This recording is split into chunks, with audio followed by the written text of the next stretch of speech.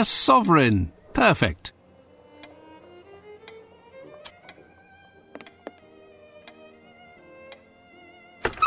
Strange place to stow money.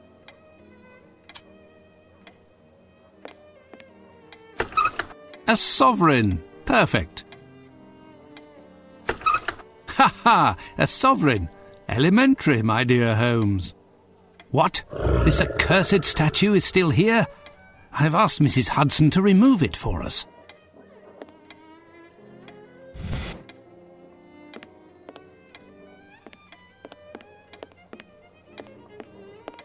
Oh, what a mess! Strange place to stow money.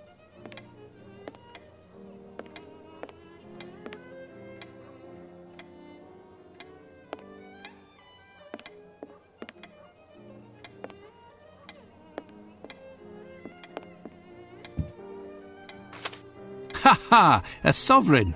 Elementary, my dear Holmes.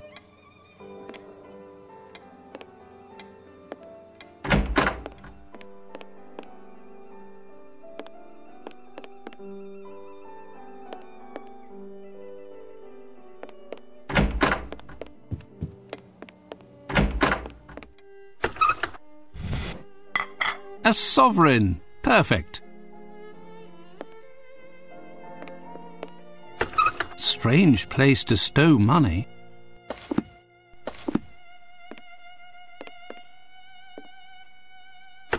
Ha ha! A sovereign! Elementary, my dear Holmes.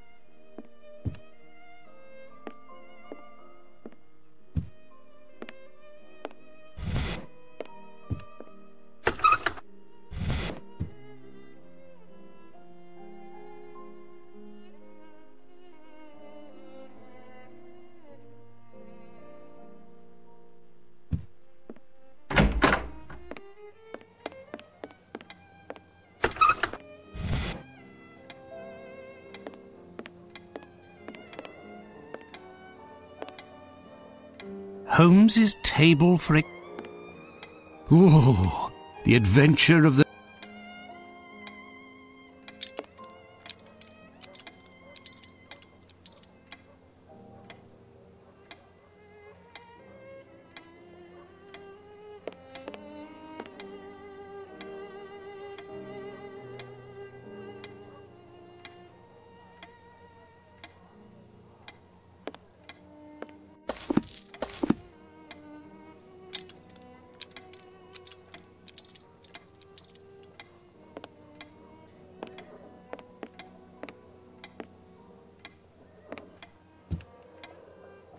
Colonel Gordon. Ha ha! A sovereign. Elementary, my dear Holmes.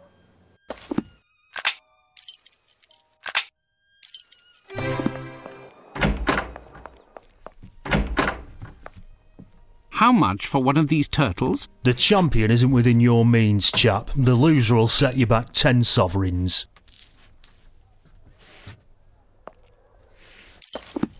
No, I have nothing to ask him.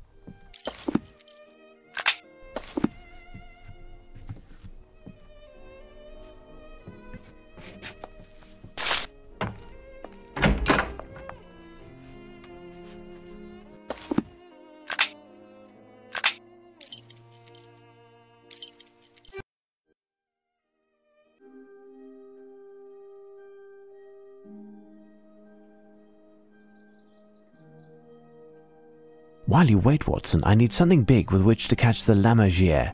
It's a rather large bird.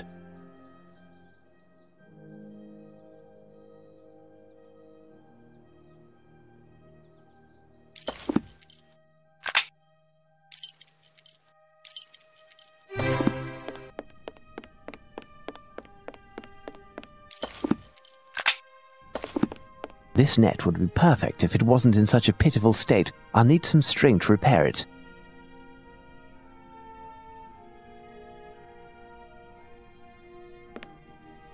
This net would be perfect if it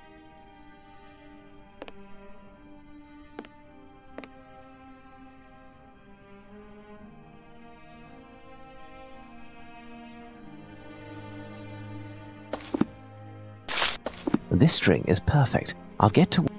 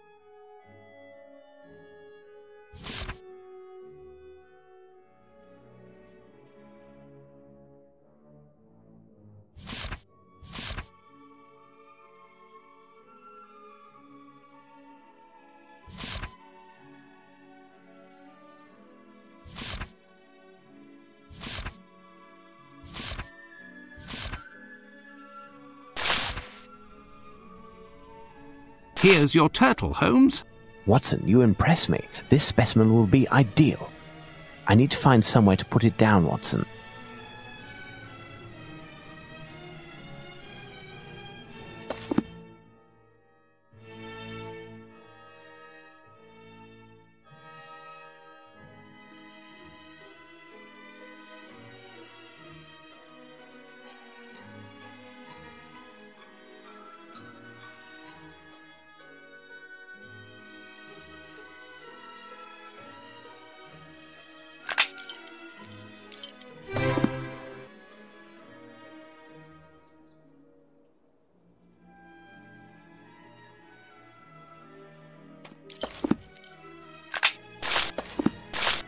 Stand back, Watson, as we wait for our bearded friend to descend.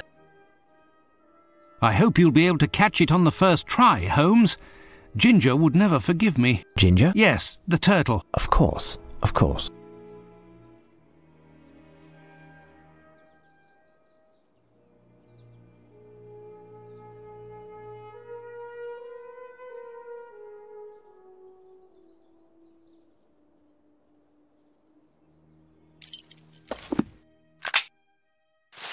This bird is apprehensive. I mustn't get.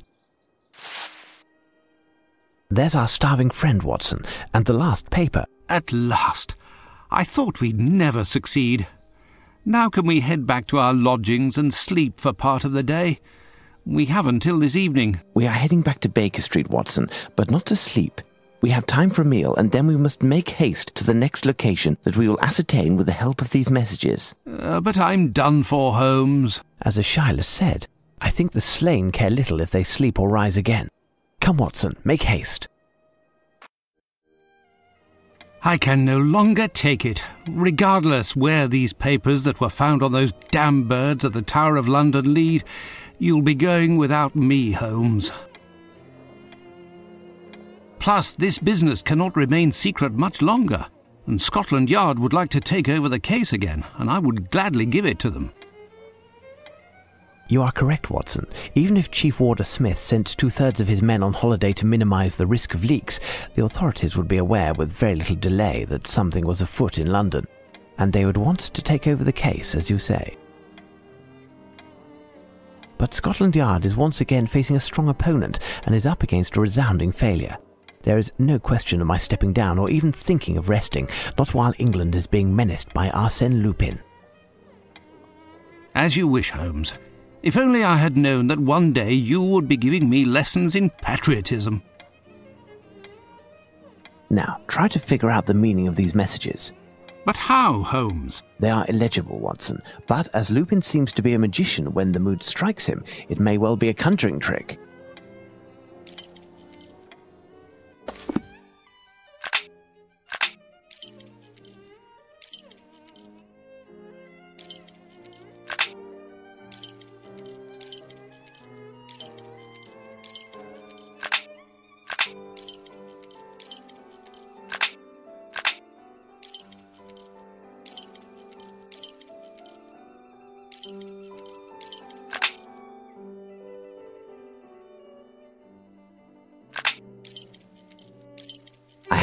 Haven't everything, it would appear.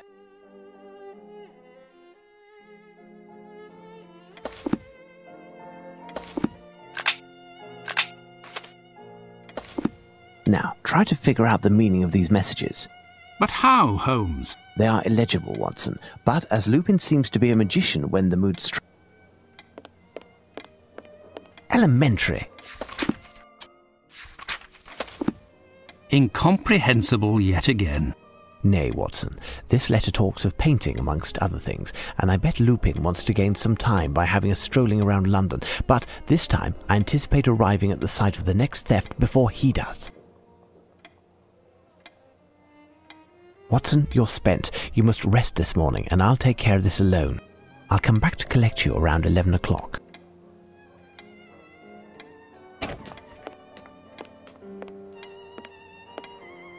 I must find something that resembles the description given in the poem.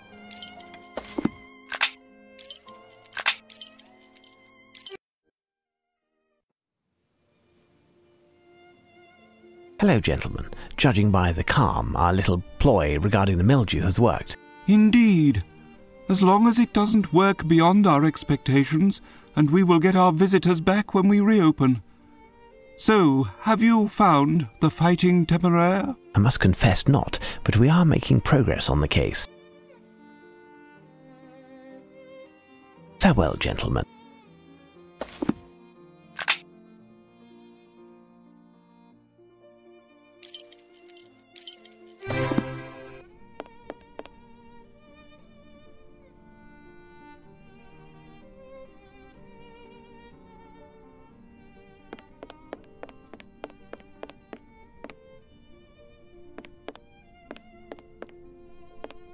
Catherine of Alexandria by Raphael, painted around 1507, one of the greatest Italian painters and architects of the High Renaissance.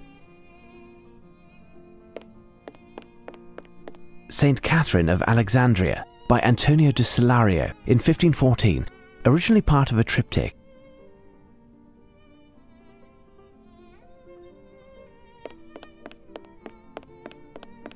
St. Catherine of Alexandria, painted by Carlo Crivelli, bought as part of the Prince Anatole Demidov collection in 1868.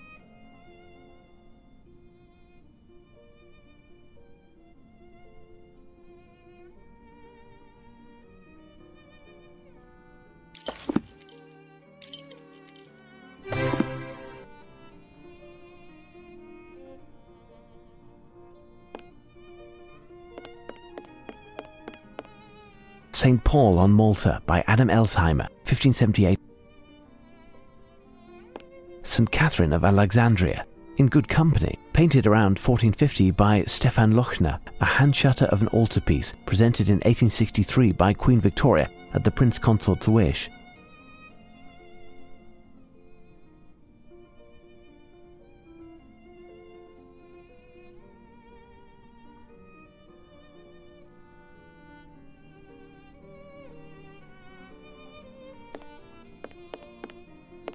St. Catherine of Alexandria, in good company, painted around 1450 by Stefan Lochner, a hand shutter of an altarpiece presented in 1863 by Queen Victoria at the Prince Consort's wish.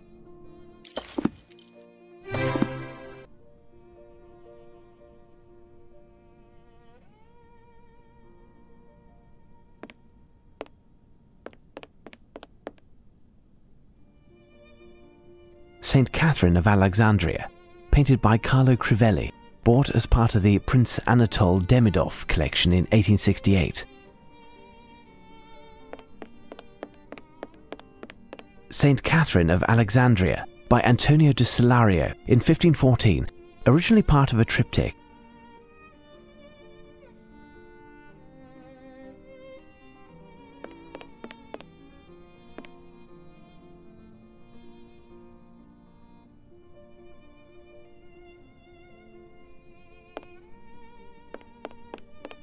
St. Catherine of Alexandria by Raphael, painted around 1507, one of the greatest Italian painters and architects of the High Renaissance.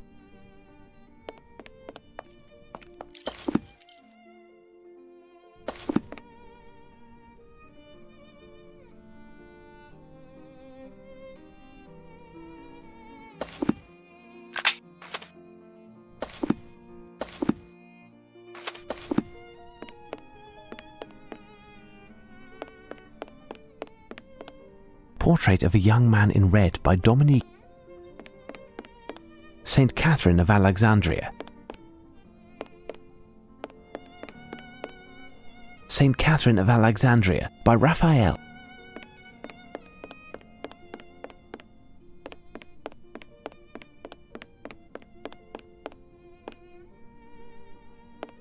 Portrait of a Woman by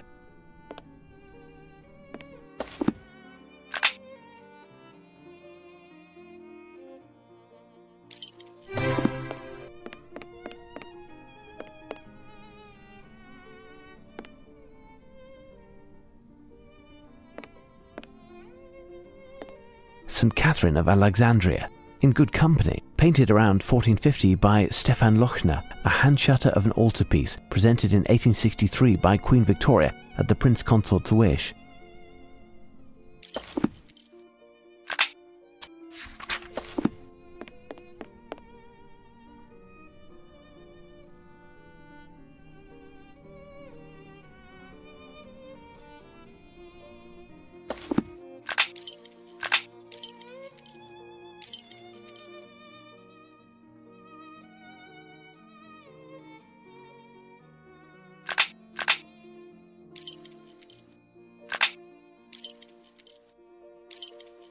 No reason to go there.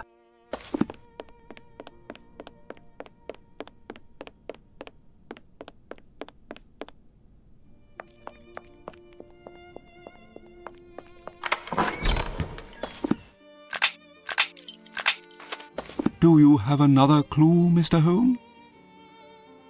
As for the investigation, I have the names of four artists who may have paintings on exhibit here. Ah, I am feeling weary and out of sorts after all of the commotion, and I am not able to help you any further.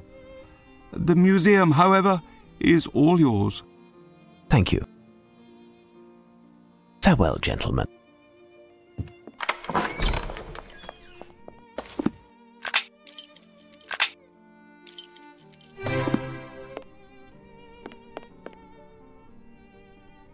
Here's what I've been looking for. And here's St. Catherine of Alexandria by Raphael.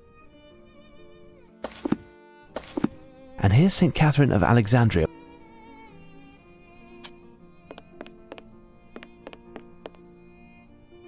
Here's what I've been looking for.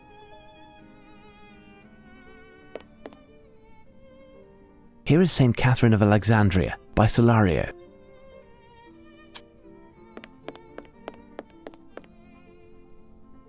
Here's what I've been looking for.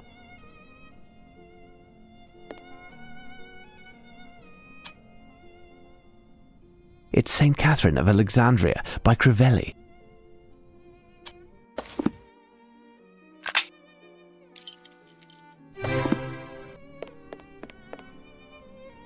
Here's what I've been looking for.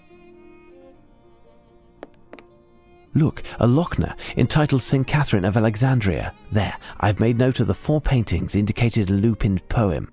I shall return to Watson and we'll put our heads together.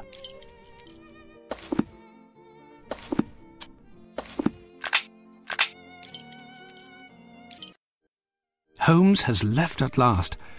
I'm worn out, but I have no choice. I must take advantage of his absence by recovering his Legion of Honour. I'll make haste to the bank and then attempt to find the crooks to whom I pawned it. There, I've been able to gather a sufficient sum of money. Now to the Golden Lion.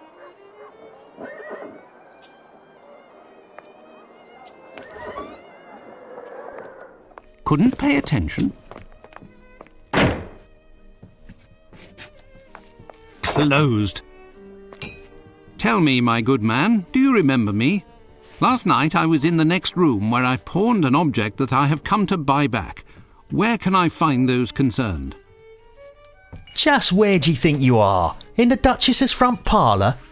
If there ain't nobody, it's 'cause there ain't nobody, and I don't know no more than that.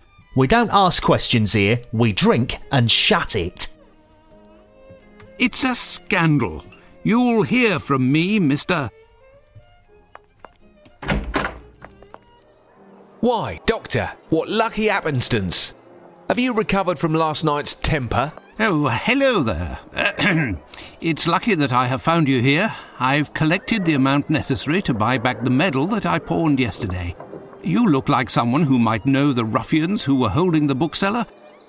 Do you know where I could find them? you aren't serious, I hope. I don't know them any better than you. Earlier in the evening, I had them round in hopes of gleaning a few morsels, but that's all. I had thought that you, like me, had bluffed, and that your trinket wasn't worth a nicker. By this time, it has certainly been melted and sold as bullion. At best, it's still in the window of a pawnbroker's. What are you telling me? You're going to tell me where I can find these rogues and the medal. Otherwise, you'll find yourself in the thick of it, because I've got friends in high places. I do. Why, Doctor, you're acting like a common thug. I, who have done everything possible for you. You must excuse me. I do apologize. Uh, how could you know? I seem to have lost my usual aplomb. This case is dragging on, and to top it all off, I have lost my friend's medal. Don't worry, I've seen worse. As for your head, it's sleep that you need. Your ideas will be much sharper after a rest. Impossible. My friend will be returning any moment, and then we'll end up I don't know where in London in order to stop. Ah, but I've said too much. The men who have the medal, is there any way to find them? Maybe, but I'll have to call in a few favours, and that takes time.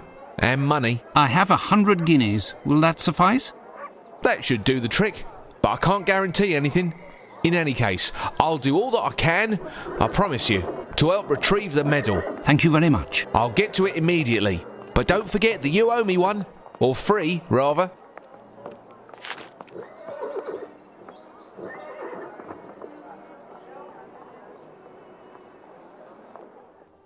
Ah, Watson, I thought I'd be dragging you out of bed. Oh, ah, I was summoned to visit a patient. Obviously a hypochondriac. Eh? Oh, uh, yes. How did you know? Otherwise, you would have taken your medical bag along. Ah, yes. By Jove, you are clever. As for the case at hand, which must be our priority, we must find to which treaty is referred in the latest message from Lupin. I just came from the National Gallery, and I think we have all of the elements necessary to formulate an answer. What do you think, Watson?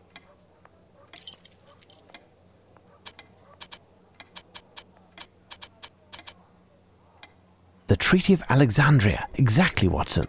Would it not be the one following our victory over Napoleon Bonaparte?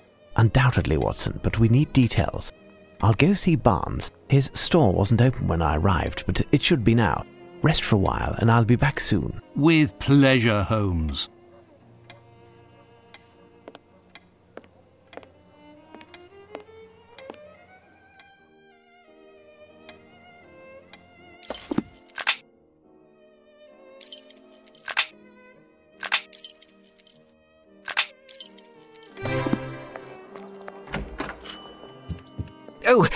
Hello, Mr. Holmes. Uh, what can I do for you? Good day, Barnes. I'm looking for a book that deals with English victories and the subsequent treaties, the Treaty of Alexandria in particular. You'll have to excuse me, but I am already run off my feet this morning as I need to relabel some of the books. I'll leave you to look for yourself. Uh, there must be something in the history shelf uh, near the back.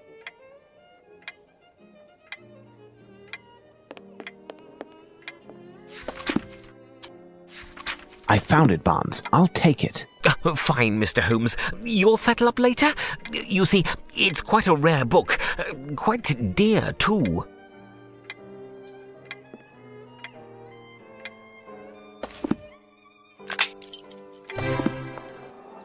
Day, Mr. Holmes. Good day, Ruffles. I've got a message for you, I have. Direct from the yard. I'm supposed to bring you to Inspector Lestrade quick as can be. There's going to be a right important meeting, there is. The PM himself will be there. For once, Lestrade is ahead of the game. Listen, Ruffles, in order to save some precious time, will you bring a message to the inspector? Tell him to meet me here with as much of the force as he can muster, but he must be discreet. Do you understand? Right, Mr. Holmes. I'll be off, I will. Thank you. Let's head to Baker Street.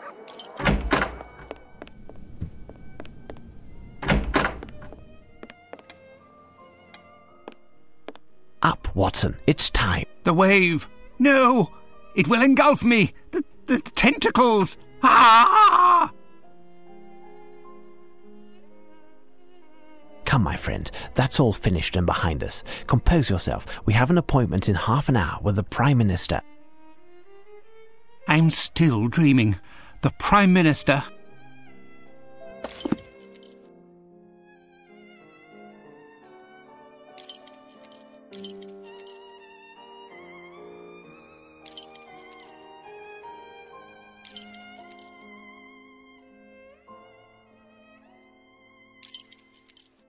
Here's our next destination, Watson the British Museum. Come on now, make haste. We're ahead of the game at the moment and we want to remain that way.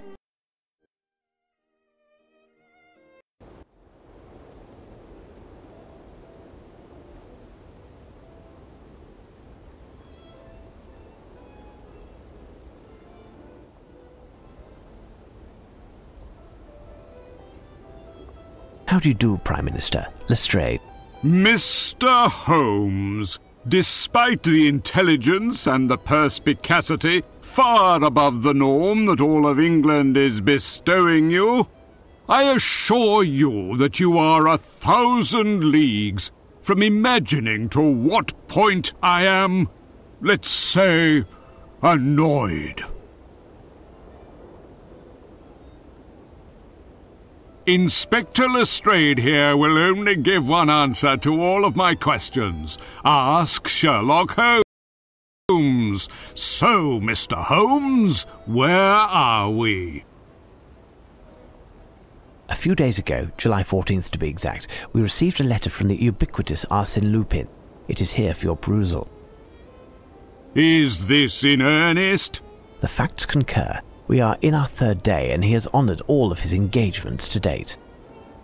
Even in recent history, this type of preposterousness would have led to war, do you know? Well, Mr. Holmes, all of this is too grievous to be left in the hands of an unofficial detective, no matter what his talents are.